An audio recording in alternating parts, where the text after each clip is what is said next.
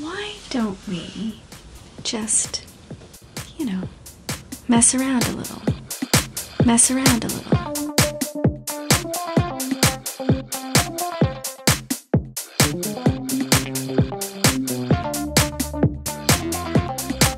And then I want you to just gently suck on me now.